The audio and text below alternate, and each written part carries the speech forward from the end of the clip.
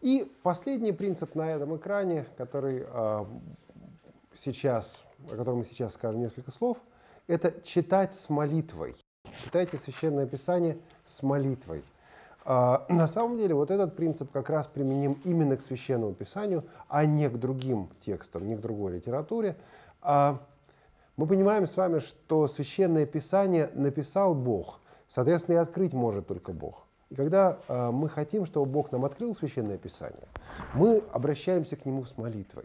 У православных христиан, у православных верующих есть хороший такой обычай начинать всякое чтение Священного Писания, приступать к всякому чтению Священного Писания, Священного Писания с особой молитвой, в которой мы просим Бога открыть наше сердце, в которой мы просим Бога открыть наши глаза для, э, для своей истины, пояснить нам, рассказать нам, донести до нас свою истину. Мы просим, чтобы Дух Святой начинал действовать в нас. И вот эта мысль о чтении Писания с молитвой – для каждого из нас очень актуально. Прежде чем начинать священ... чтение Священного Писания, прежде чем взяться за Библию, остановитесь. Проведите какое-то время в молитве. Понимаете, я не знаю, как у вас, но у меня бывает так. И, к сожалению, бывает чаще, чем мне бы хотелось. Ну, сейчас, может быть, не так часто, потому что дети уже не такие маленькие, а особенно, когда дети были маленькие. Вот в воскресенье семья собирается в церковь. Да, кстати, оговорюсь сразу, это семья пастора собирается в церковь. В субботу вечером выяснилось, что один, один ребенок заболел. В воскресенье, ну, вроде ничего себя чувствует. Так, поведем в церковь, поведем.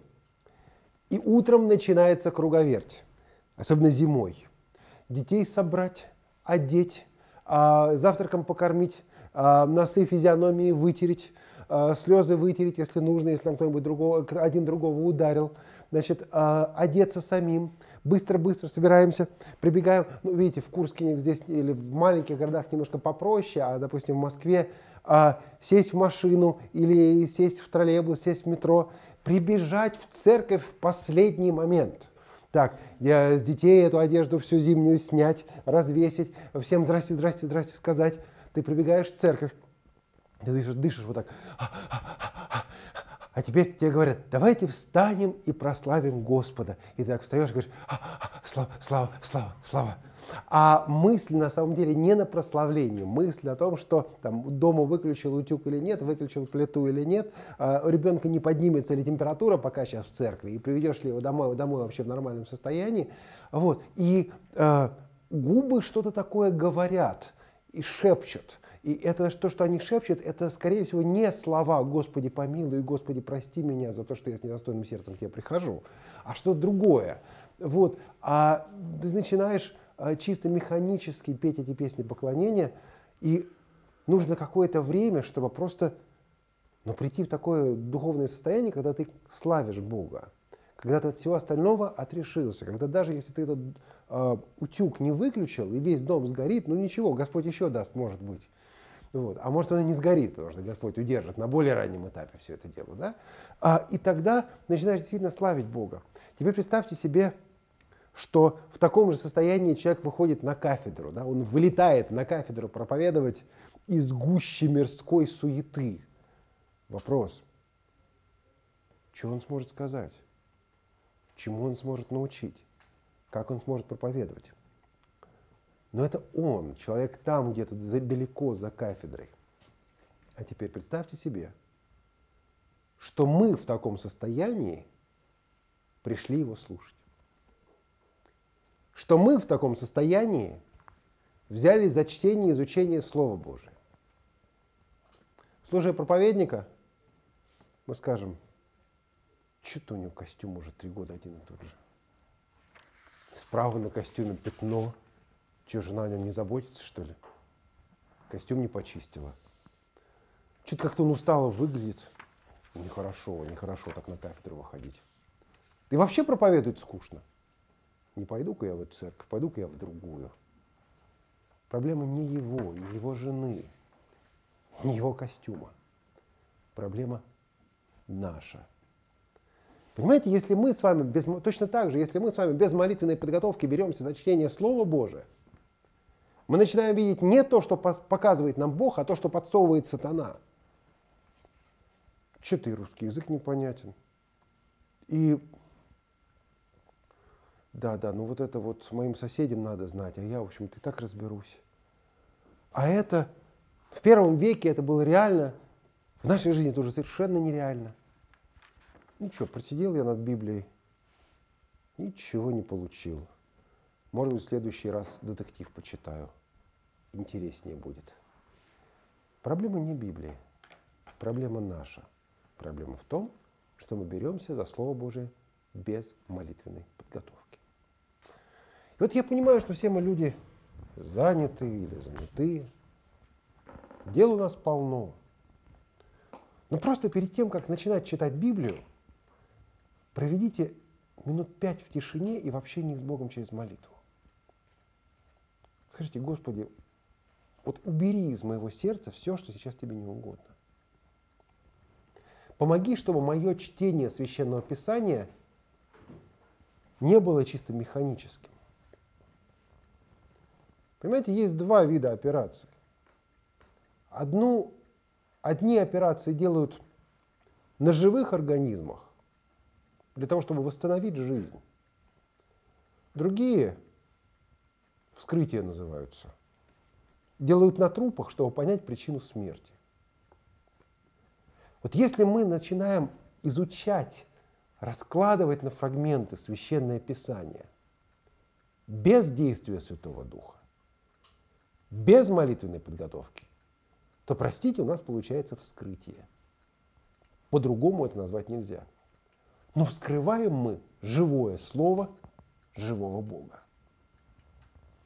Я понимаю, что звучит несколько сурово, грубовато и так далее. Но просто, когда человек жалуется, говорит, я читаю, я ничего не нахожу. А вот вопрос, а ты молишься или нет? Когда семья говорит, мы вместе перестали читать Библию, очевидно, это означает, что и молиться вы вместе тоже перестали. А если вы продолжаете молиться, то это не глубокая молитва. Я был бы нечестным человеком, если бы я сказал, что в пасторских семьях в этом плане все идеально. Все пасторы говорят о том, что я идеальный муж, а все жены пастора говорят, мой муж проводит со мной намного больше времени в молитве и в чтении священного писания, чем уделяет церкви. Вот если бы было так, было бы здорово, но это не так. И это проблема. Именно поэтому среди требований к чтению священного писания молитвенное чтение. Читайте как? Читайте творческий. Читайте, пытаясь взглянуть на уже известные вещи по-новому.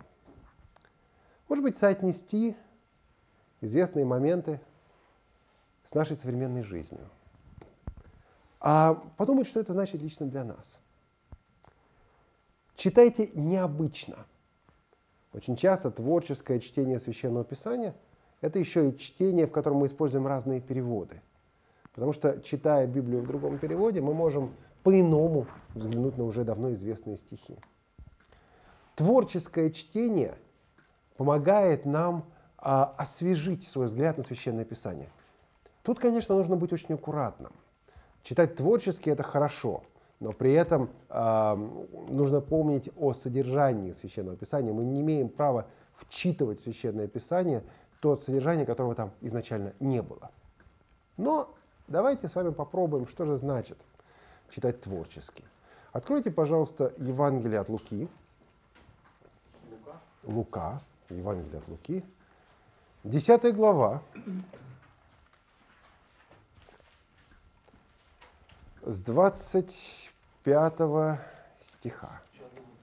Нет, ну сначала до притчи о добром самарянине.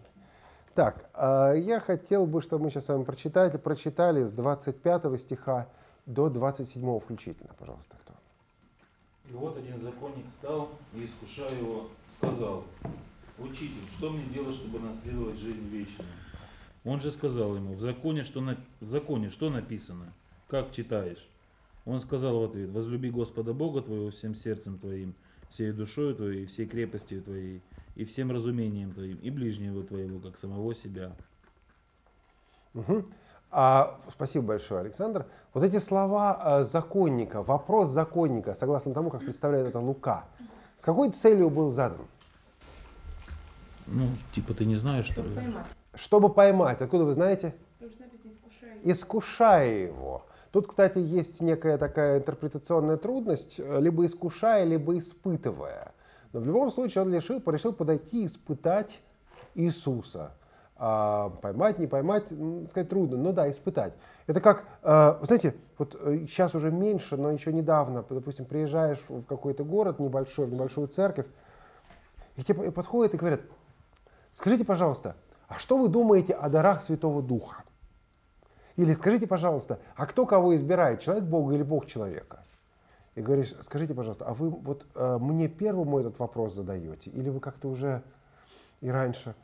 И видишь в лице собеседника смущение. То есть, очевидно, как-то уже и раньше. Значит, он спрашивает, что нужно, да, вот какая первая заповедь? Что в законе написано? Законник цитирует первую заповедь. Хорошо, давайте продолжать читать. Продолжим читать. Иисус сказал ему, правильно ты отвечал, так поступай и будешь жить. Но он, желая оправдать себя, сказал Иисусу, а кто мой ближний? Да, что здесь происходит? Он говорит, люби ближнего. М, А кто мой ближний? Я понимаю, что я не всех люблю. Значит, а, мне полезно сделать некое пере- переопределение слова ближний.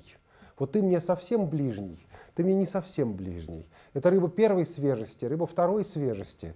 Да? Вот кто мне ближний? Иисус тогда в этот момент рассказывает известнейшую для нас на сегодня, известнейшую нам сегодня притчу о добром самарянине, и потом задает вопрос, а кто оказался этому человеку ближе, кто оказался ближний тому человеку, который был ограблен э, разбойниками. Выяснилось, что самарянин для него ближний. Хотя иудеи и самаряне между собой не сообщались, иудеи и самаряне друг друга презирали, и уж никак ближними не назвали бы себя. А, а теперь начинается творческий подход наш. Вот э, я прошу вас сейчас перечитать притчу о добром самарянине, посмотреть на то, какие люди участвуют в этой притче. И обычно, когда есть возможность немножко подвигаться, а, я прошу студентов разыграть в современном виде притчу о добром самарянине. Но понятно, что с самарянами мы, в общем-то, давно не встречались, да, то есть большинство из нас как-то не так часто с ними встречается. Значит, нужно подумать, кем еще, с кем еще. А вот э, поскольку это будет сложно, мы не сможем сейчас взять, раздвинуть этих столы и так далее, а, мне потом просто расскажите. А, я хотел бы, чтобы мы, вы потом попробовали переложить эту притчу на современный лад. То есть объяснить эту притчу современными терминами. Допустим, по дороге ехал кто? Случилось с ним что? Проходил кто мимо? И так далее. А, то есть найти похожие отношения в современном мире. Вот я вам даю минуту, чтобы подумать и перечитать эту притчу. Пожалуйста.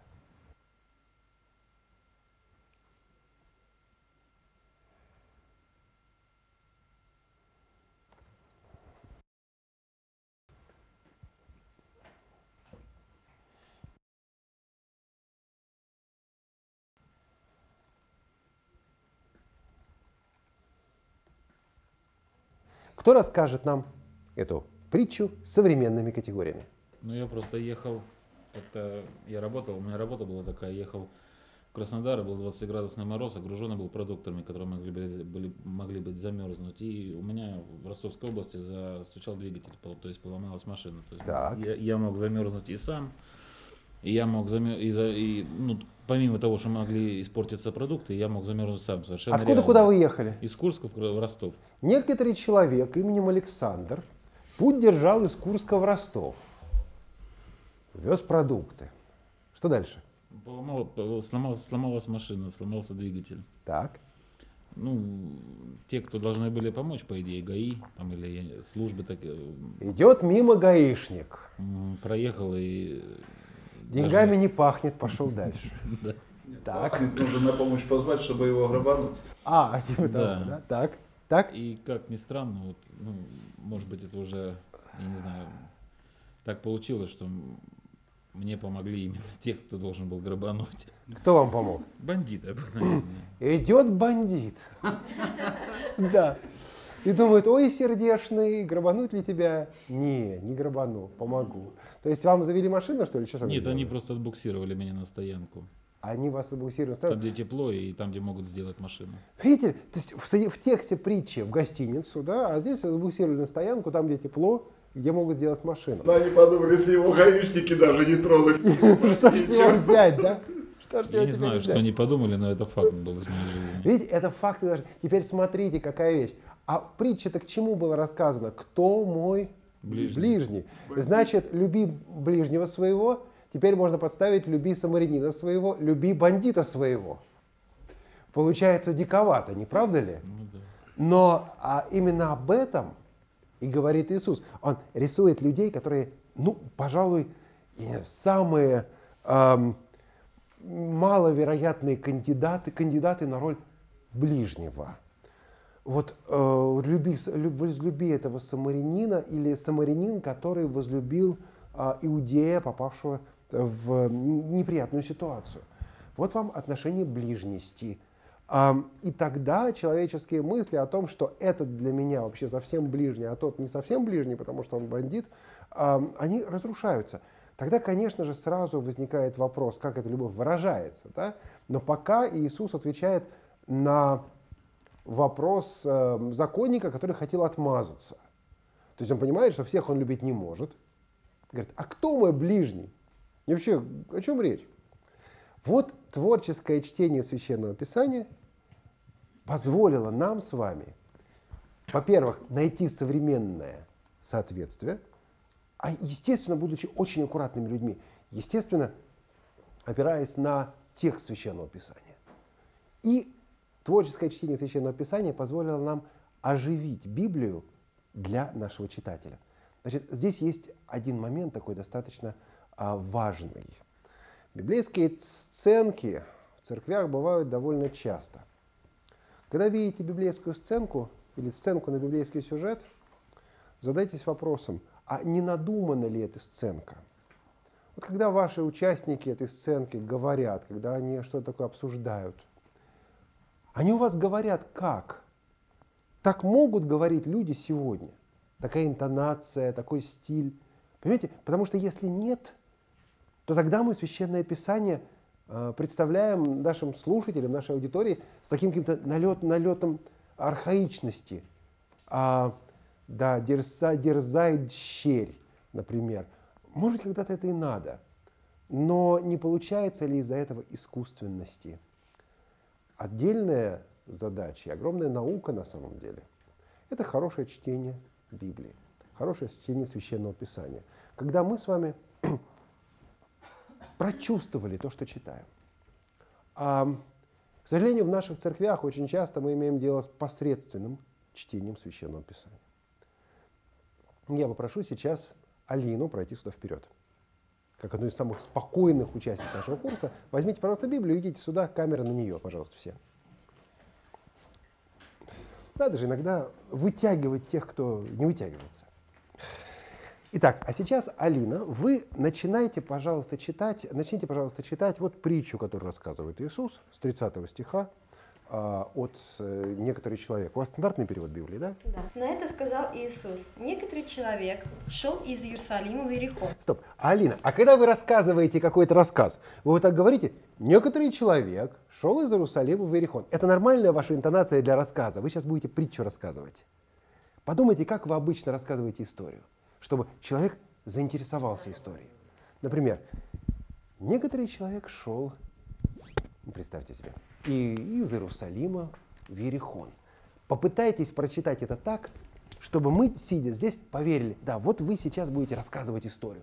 Представьте себе, например, так, вот вы говорите, я вам расскажу о том, что со мной вчера случилось. Вчера я была у подруги в гостях. А вы могли так рассказать, нет? Вот, вот такой интонацией. Никогда в жизни. А что же вы Библию так читаете? Теперь представьте, себе, хорошо, давайте, вперед. Некоторый человек шел Я вчера была в гостях у подруги. Так, по- подумайте об истории, которую вы расскажете. Так, ну ты спрашиваешь, кто, кто твой ближний? Я сейчас тебе расскажу. Как будет дальше? Интонацию, пожалуйста. Вперед. Да, конечно. Некоторый человек шел из Иерусалима в Иерихон и попался разбойникам, которые сняли с него одежду, изранили его и ушли. Теперь оставив- представьте себе, что вы это слышите в первый раз в жизни. Сняли с него одежду, избрали. Э, представ- вот представьте себе этих разбойников и этого товарища, который им попался. А, попытайтесь нам это голосом, когда вы читаете Библию, донести. Некоторый Знаете- человек шел из Иерусалима в Иерихон Мгм. и попался разбойникам, которые сняли с него одежду, изранили его и ушли, оставив его едва живым. Так, уже лучше, уже лучше немножко, правда, звучало в ее интонации, «А, ну что ж вы меня все мучаете. Вот, но вот я говорил о том, что чтение Библии это огромный серьезный труд. Вот когда вы читаете, даже вы вслух читаете, на служении, еще где-то, представьте себе, что происходит. Вот вам рассказывают притчу. Некоторый человек шел из Иерусалима в Иерихон. Да, допустим, да, он немножко поколебался, чтобы сообразить, откуда куда. И попался разбойникам, которые сняли с него одежду, изранили его и ушли, оставивши его едва живым. Вот вы рассказываете историю, как будто слышите ее впервые в жизни. Кстати говоря, тем из нас, у кого есть дети, это проще, потому что у нас есть определенный опыт чтения детских книг. Если мы читаем ребенку скучно, он говорит, мама или папа, книга скучная. Он никогда не читает, не скажет, ты читаешь скучно. Скажет, книга скучная. Так, теперь давайте начнем еще раз вот с этого предложения, которое вы уже несколько раз читаете, но а, добавим и следующее. И представьте себе, что вы нам рассказываете это, рассказываете это нам впервые. Пожалуйста, с 30 стиха. Некоторый человек шел из Иерусалима в Иерихон и попался разбойникам, которые сняли с него одежду, изранили его и ушли, Слушайте, оставив его едва А вот живым. здесь прозвучала немножко такая интонация учителя воскресной школы для детей, которые сняли с него одежду. Вы знаете, я вчера попался с разбойником, с меня сняли одежду. Вот, вот, вот, вот, такое, а, немножко такое свысока а, полудетское сюсюканье. А, ну, это произошло буквально на минутку. А- она начала очень хорошо, она начала нам рассказывать историю. И было слышно, что Алина нам рассказывает историю. Слушайте, а я уже, мне уже не терпится узнать, что дальше с этим человеком было. Расскажите нам. Давайте. По случаю один священник шел той дорогою и, увидев его, прошел мимо. Также и левит, А теперь смотрите парадоксальность ситуации. По случаю один священник шел той дорогой. Вау, все, все спасет. И увидев его, прошел мимо. Вот даже если вы когда читаете вот это вот делаете, да, человек, слушая вас, начинает видеть вот эту внутреннюю скрытую иронию библейского текста. Мы привыкли, мы знаем, что он пройдет мимо. А в данном случае, по случаю ехала, ГАИ, ехала машина ГИБДД, там ГАИ, что хотите, ДПС. И увидев, проехала мимо. Это неожиданность. Знаете, как у, э, допустим, в одной из эпиграмм э, Роберта Бернса, да, не убегайте пока, будьте с нами, потому что еще ваша помощь будет нужна сейчас. А в одной из эпиграмм Роберта Бернса, у него есть такая эпиграмма в переводе Маршака, называется «Эпитафия э, тупицы». Тупице. Эпитафия тупицы. Эпитафия – это надгробное слово. И там, значит, э, в переводе Маршака пол- получается так. «Склонясь у гробового входа, «О смерть!» — воскликнула природа. «Когда ж удастся мне опять такого олуха создать?» То есть вот вас возносят на вершину, такое, сейчас будет что-то такое великое, да? И последняя строчка вас буквально сбрасывает вниз, такого олуха создать. Теперь, когда мы читаем Священное Писание, обратите внимание на а, ну, какую-то парадоксальность всей ситуации. Причем начинается в русском переводе очень хорошо, и по-гречески также. По случаю так случилось, что один священник шел, шел, шел мимо, и увидев его, прошел мимо. Вот покажите нам, прочитайте еще раз 31 стих, и, может быть, не так, как я это делаю, но покажите нам, что происходит что-то неожиданное, и забудьте о том, что вы этот стих с детства помните. А, понимаете, потому что иначе вот, вот эта вот покрытость пылью священного писания, она бросается в глаза. А чтобы преподнести другому, надо сначала самому свежий взгляд на это сформировать. А, Алина, еще раз 31 стих, пожалуйста. По случаю один священник шел той дорогою и, увидев его, прошел мимо. Вот. Алина сделала вещь, которую я не сделал. У нее в голосе, вот в этом, увидев его, прошел мимо, звучало не просто парадоксальность, как я показал, а какое-то такое недоумение и разочарование. И увидев его, прошел мимо. Вот понимаете, насколько это лучше а у него ровного, совершенно не творческого чтения, уже замучившегося или замученного текста. Текст не может быть замученным, библейский. Так, ну там еще есть второй товарищ. Расскажите нам, пожалуйста. Также и левит, быв на том месте, подошел, посмотрел и прошел мимо. Так, а, а теперь, Алина, внимательно. Вот 31 и 32 стих, два участника истории. В чем общесть, общность реакции этих участников и в чем их отли, и отличие?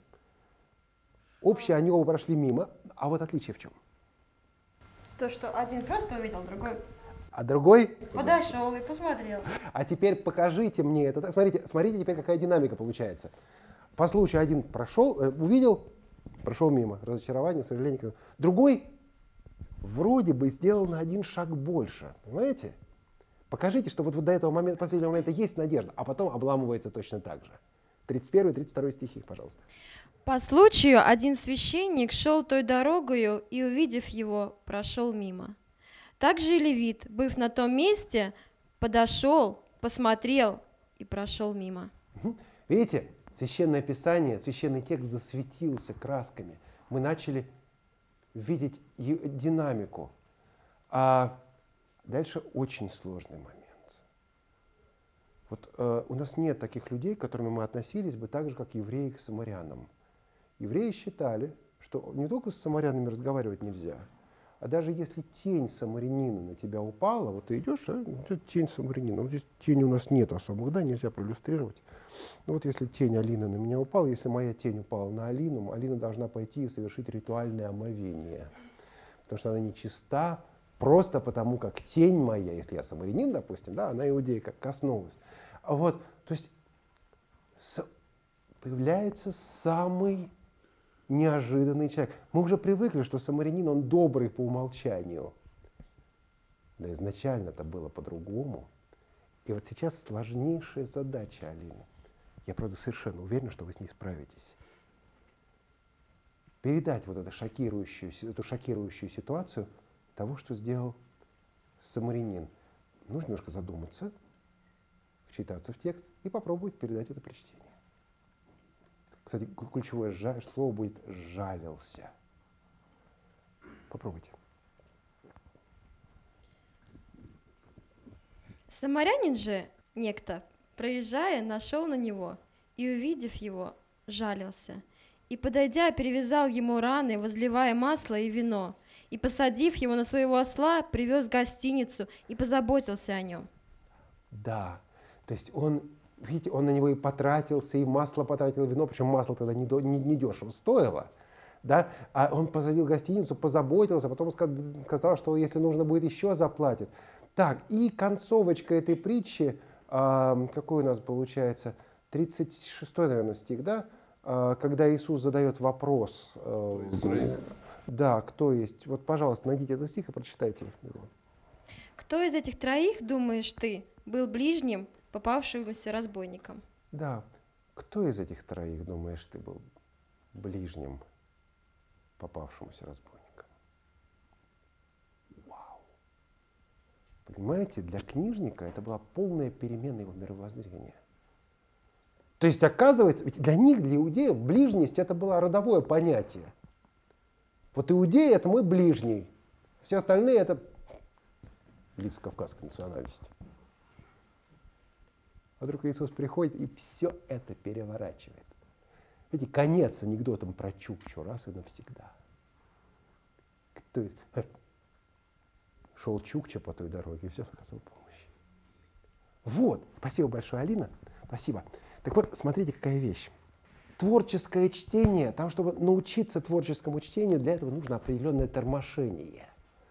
Тормошение самих себя, тормошение, не торможение, а именно тормошение, да? как выход из той парадигмы, из той, того состояния, что вот я знаю этот текст, там все уже известно, понятно, что этот пройдет, другой пройдет, самарянин окажет помощь.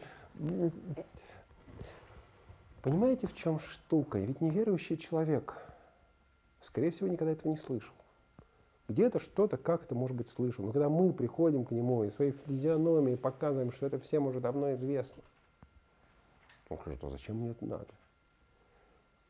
Если мы в восторге от текста, если мы замечаем те вещи, которые Алина сегодня заметила, когда она заметила, что второй участник этой истории подходит ближе, чем первый, делает больше, чем первый, он все равно обламывается. Третий участник этой истории совершенно неожиданно, что он что-то сделает. Но это делает. Вот если мы это будем понимать и представлять сначала себе, потом другим людям. Да, конечно, не переигрывать, не переигрывать. Здесь нужно следить, чтобы не было фальши.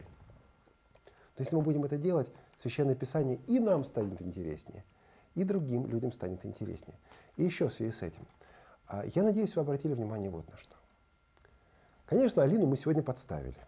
Ну, она сидела так спокойно, я думаю, кого бы подставить? Ну, вот ее подставили.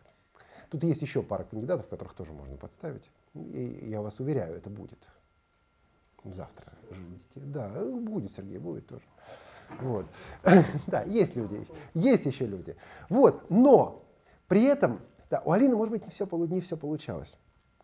Но всякий раз, когда у нее что-то получалось, вы показывали, да, здорово, молодец. А если сделать еще один шаг? Понимаете, вот это а, два разных подхода. Один подход, ты знаешь, ну у тебя пока еще не все получилось, не все, не все, не все. И неизвестно, когда все получится. Руки опускаются, человек больше не хочет делать ничего. Другой, другой вариант. Здорово. Вот еще чуть-чуть давай постараемся, и будет вообще круто. Давай сделаем дальше. Вот это в наших отношениях с нашими, а, сначала с нашими детьми, когда они читают Библию, с нашими супругами, с нашими ближними, а потом, соответственно, с теми людьми, которых Господь нас, которым Господь, которых Господь нас, нам доверяет.